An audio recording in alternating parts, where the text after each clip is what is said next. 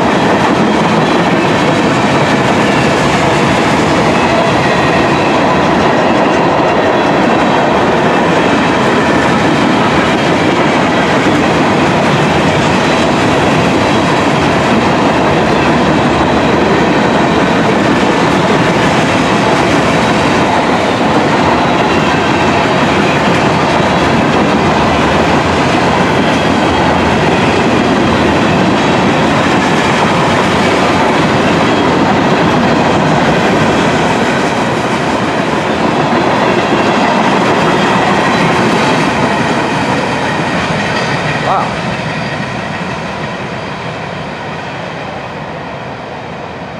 I think they said G226. I thought it was an L226. Nah, that's a G226. That's what that is.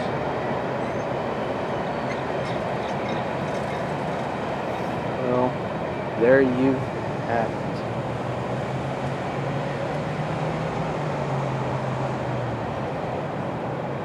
One engine.